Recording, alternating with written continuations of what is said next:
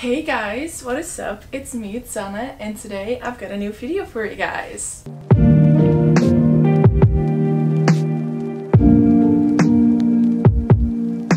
Today I have a sapphic book recommendations video for you guys because I just felt like filming one because I've read a lot of like sapphic books, a lot of sapphic books, and I just wanted to share with you guys what my favorite sapphic books were. Um, as you can see I've got a whole pile of books right here.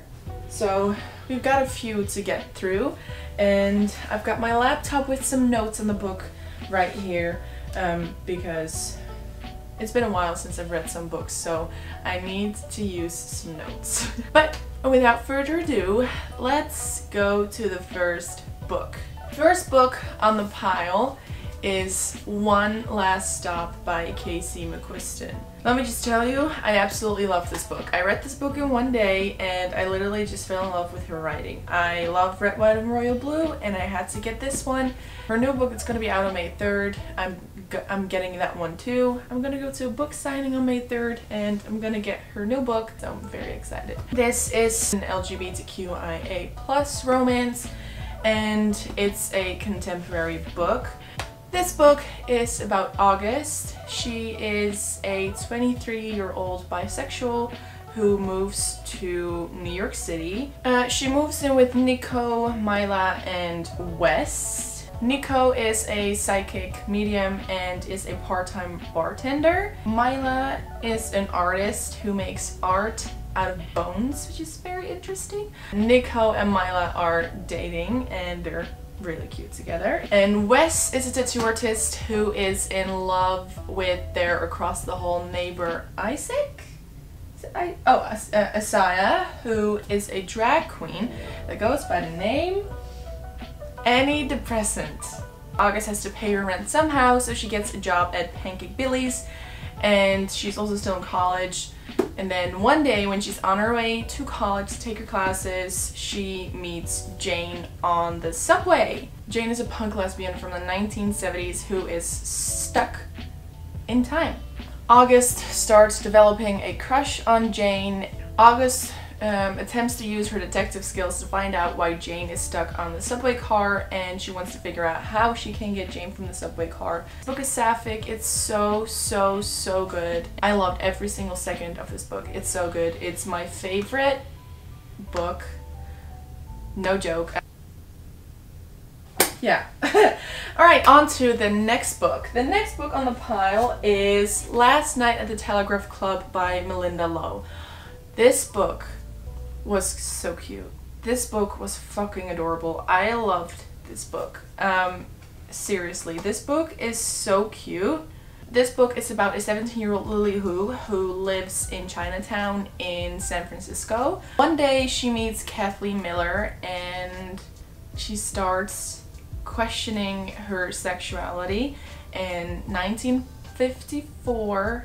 Yeah, 1954 is a dangerous year for two girls to fall in love, which is why this book was heartbreaking, but also so cute. Lily's father is on the cusp of getting deported, even though he earned his green card to stay and work here, um, which makes it even more dangerous for Lily to fall in love with a with another woman.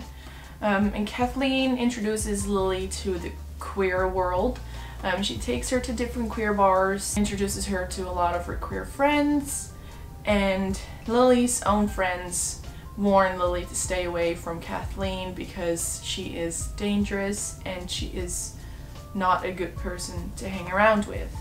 Um, like I said, this book was so cute. I absolutely loved it. It was also very heartbreaking at some points. This book is a romance. It's LGBTQIA+.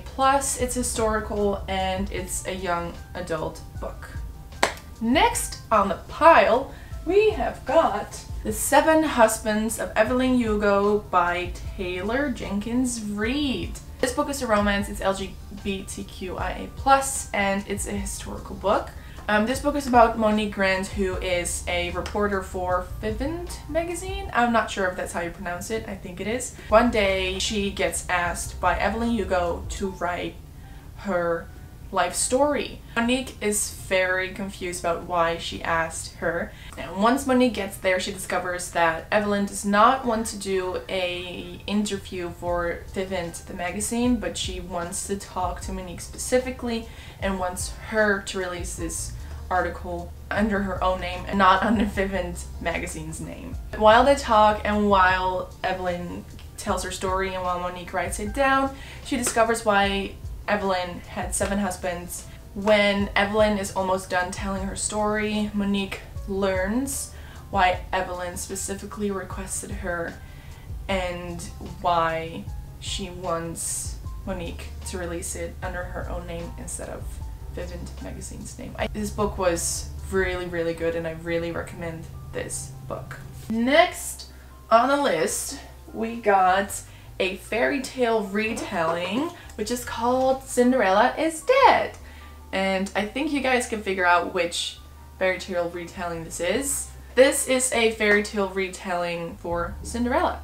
This book is a romance, it's LGBTQIA+, it's a fantasy, and it is young adult. In this retelling of Cinderella, teen girls are required to go to the annual ball where they get picked by men to basically marry them and have their kids. Um, this story follows Sophia. She is 16 and she has reached the age where she is where she can attend her first ball too but she'd rather marry her childhood best friend, Erin, then marry a guy.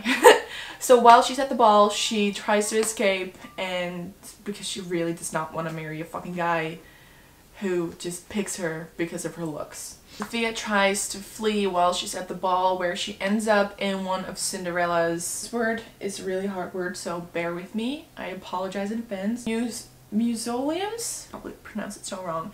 Um, yeah, she flees and she ends up in one of Cinderella's mausoleums. and there she meets Constance, who is the last known descendant of Cinderella's stepsisters. Girls who don't get picked at this ball, once they reach the age of 18 and they haven't been picked yet, they disappear and are just never to be heard of again. Once Sophia meets Constance, her and Constance try to figure out what happens to those girls who don't get picked and they discover a very, very dark secret about the king and basically the whole kingdom and just what's going on with that. Um, it was the first fairy tale retelling that I ever read and I really recommend it. It was amazing. It was really good. Next up, we've got a duology Crier's War and Ironheart. They're both romance LGBTQIA+, uh, fantasies, and young adult. After the War of Kinds, Automae, who are made by nobles and queens and kings as sort of their playthings, kind of run the country and bend humans to their will because they're better than humans. Isla is trying to rise through the ranks as a human servant in the Govern's house to take revenge on him because he killed her family. Her plan of revenge is killing his daughter, Lady Crier. Um, and like I said, she's climbing through the ranks as a human servant, which ended up her becoming the maid of Lady Crier. Isla's plan is to kill Lady Crier and get the fuck out of there, get revenge on the stupid Sovereigner because Sovereign, whatever, because he killed her family and he wants, she wants him to feel the same pain she felt when her family got killed. But once she turns into Lady Crier's maid, she learns that Lady Crier is not at all what she thought she would be and then ends up being a lot harder for her to actually go through with killing Lady Crier. While Isla is planning to kill Lady Crier, Lady Crier has a whole thing, has her own problems. Um, her father is a very, very important man who runs this circle of very important people and Lady Crier has always dreamt of joining that circle. Um, so what she wants is for her father to see her as an equal and actually have her join this circle. But she discovers that her father does not see her as an equal and that her father isn't the man she thought he was. Um, she gets betrothed to Scyre Kinok, who is also not who she thought he was. While all this is going on, she obviously meets Isla because Isla becomes her maid. Meeting Isla just kind of throws everything she wants to do like upside down. Also funny because I have not tapped this book, but then we go to Ironheart, which is written by Nina Valera, just like Crier's War. And this one is tapped. This whole thing is gonna contain spoilers for Crier's War, so if you don't, if you haven't read Crier's War yet, skip to this part of the video where I'm gonna discuss the next book and you won't get any spoilers for Crier's War. In this book, Isla and Crier attempt to find the Ironheart and want to destroy it. Isla's reason for wanting to destroy it is because she wants to get rid of all the Automae because they have caused her so much pain. So she wants to destroy the Ironheart so that the Automae don't have any life source anymore and they basically just die a very very slow death. Uh, she escaped Lady Crier's palace so now she is a, fug a fugitive so people are looking for her. Isla is also the heart of the human revolution who are fighting against the Automae to literally wipe all of them out. She pledged her alliance to Queen June who wants to help her get rid of the Iron Heart as well. So even though Isla wants to destroy the Iron Heart and get rid of all the Automae, she has to make a tough choice because getting rid of the Iron Heart also means that Crier will also die since she's also an Automae and she can't really, she is, she's finding it very difficult to actually destroy Ironheart because she's in love with Crier. What she does not know is that Crier has also escaped the palace and is now also a fugitive and wanted and everybody's looking for her. And Crier also really wants to destroy Ironheart.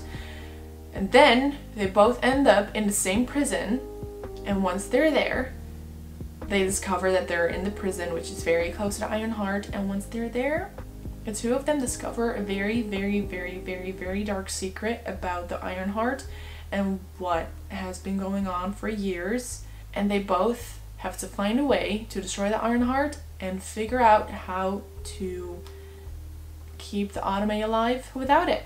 Again, this book was so, so good. I really, really liked this book. I read it in a few days, and as you can see, I tabbed this book. Next on the list, we have got satisfaction guaranteed. This book is a LGBTQIA plus romance. It's a happy-go-lucky story and it's very cute.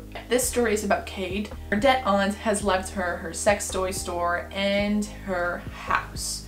Um, in the backyard of this house, there's this woman living. Um, her name is Selena. Her name is Selena. Selena has lived with Kate's aunt for a very long time. She has also worked for Kate's aunt for a very long time in the sex toy store. Um, and this story is about how the both of them have to work together to keep the sex toy store from going bankrupt. They discovered that the toy store has not been doing well and her aunt left the store to Kate because she knew that Kate is a very, very good businesswoman and she knows that Selena loves working at the store. So they both have to work together to make sure that the store doesn't go bankrupt.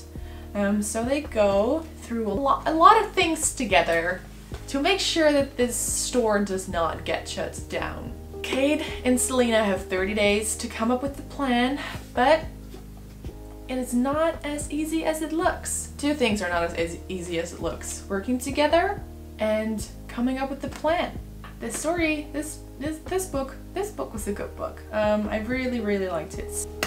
Next up, we've got Malice. Um, I don't have the book as a physical copy. It is on my Kindle, so I'll just put a picture of the book up right here, which is a LGBTQIA plus romance and it's a fantasy and this again is a fairy tale retelling uh, but this time it's a fairy tale retelling of Sleeping Beauty.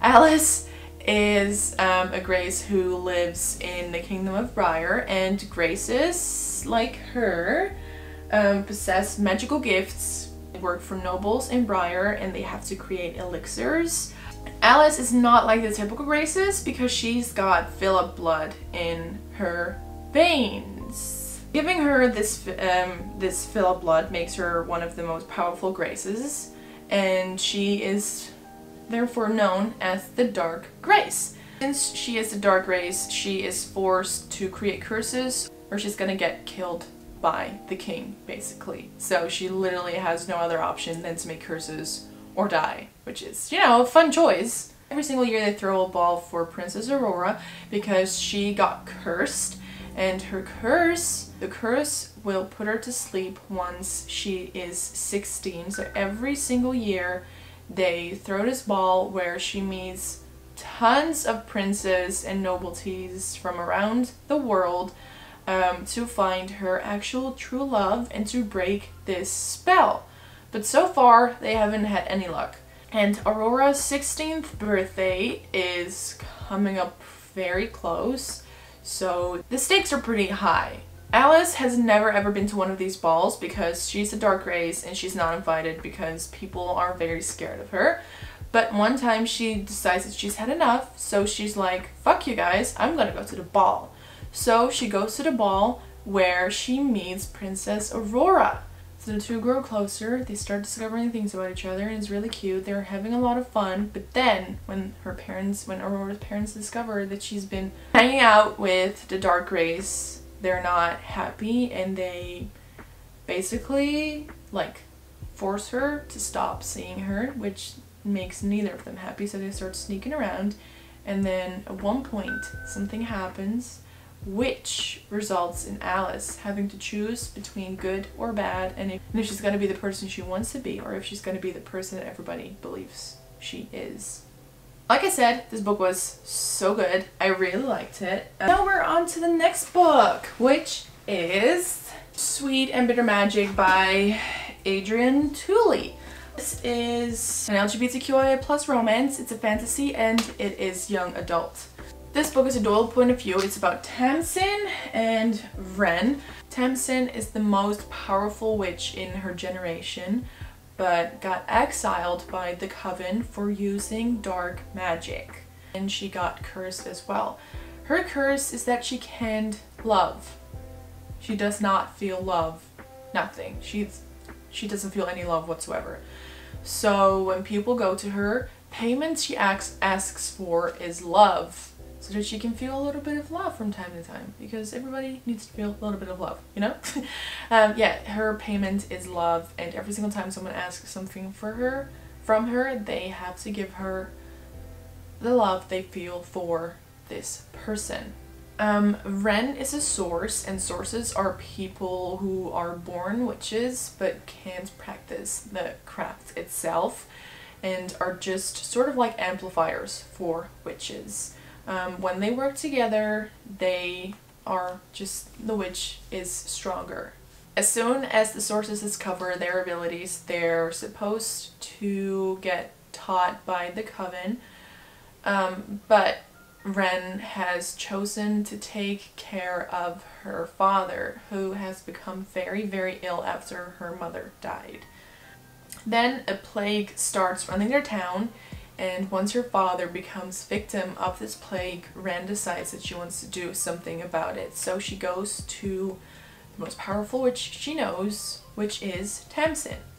Um, they both have to work together and neither of them are happy about it, but they both want to get rid of this plague. Wren proposes a bargain and Tamsin accepts. If Tamsin helps her catch the witch who is responsible for this plague, then she'll give all the love she has for her father. But while the two work together to find the dark witch and to get rid of this plague, they unravel a dark truth about someone in the coven. Yeah, it took me a while to get into this book, but it was a great book. I really, really liked it, so I really recommend this book. Um, and it's also an enemies to lovers just like the last one. So if you're really into enemies to lovers you'll really like this book. The next one this is how you lose time war. This is a very very small short book as you can see. It's a romance it's lgbtqia plus and it's sci-fi. This book is about red and blue and they're basically rival agents. Red works for the agency and the agency works for a time where technology has taken over every single thing. And Blue belongs to the garden who fight for a time where there's no technology in the world whatsoever. Um, yeah, so this is basically, like I said, this is basically a time war. Red and Blue have absolutely nothing in common except for the fact that they're both the best agents in their factions. And being alone is unfortunately also one of the only things that they have in common. um, writing letters to each other started off as like a fun like battlefield boost, but has slowly turned into something dangerous, which could end up in killing both of them.